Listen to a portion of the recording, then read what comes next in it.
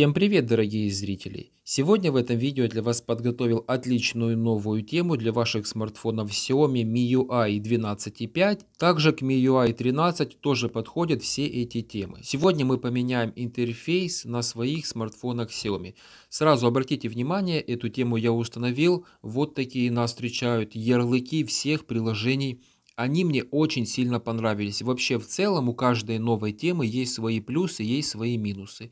Огромным плюсом являются настройки и ярлыки всех приложений. Они очень сильно мне понравились, красивые, окантовка такая, ярко выраженные различные углы, узоры, присутствует немного мультяшности, цветастые ярлыки, очень яркие, кстати говоря, они еще и крупные.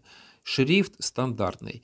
Опять-таки, если вам не нравится задний план, вы можете его изменить. Если вам не нравится цвет Google поисковика, вы можете изменить. Если вам не нравится виджет времени, тоже можно его поменять. Давайте прямо сейчас я покажу, как это можно все сделать. Но прежде давайте я вам покажу настройки. Они тоже очень хорошо перерисовались. Обратите внимание, что присутствуют большие блоки настроек. Они сохранились.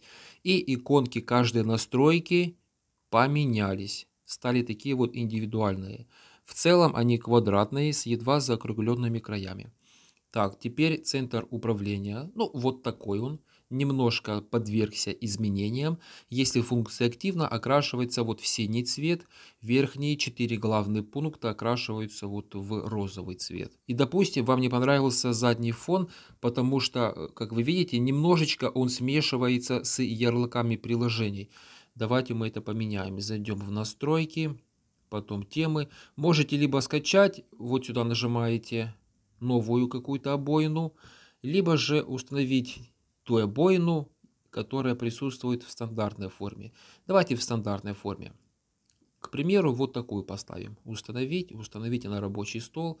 Нет, спасибо. Вот, смотрите, вот, теперь уже другой вид, согласитесь. Виджет погоды времени вам не нравится. Берете, удаляете, задерживаете палец. Вкладка виджеты нажимаете. Сейчас все виджеты на вашем смартфоне загрузятся из различных разделов, таких как часы, погода, калькулятор. Но нас интересует из пункта часы.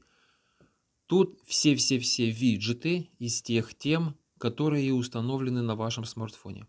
Можете выбрать абсолютно любой виджет. И в этом огромном списке выбираете тот виджет времени и погоды, который вам только лишь понравится. Главное, чтобы у вас на телефоне была скачанная эта вот тема. Потому что если темы нету, но и виджета нету. Задерживайте палец, устанавливайте на удобное для вас место. Чуть-чуть выше нужно сделать. Оп. Вот, уже совсем другой внешний вид. Также Google поисковик может тоже изменить. Нажимаете на иконку, ваш аккаунт, настройки, внизу виджет поиска, настроите виджет, третий кружок, четвертый кружок и выбираете цвет. Какой цвет тут подойдет? Допустим, бы оранжевый подошел. Готово. Выходите, все. И вот так уже все смотрится. Согласитесь, что весьма неплохо.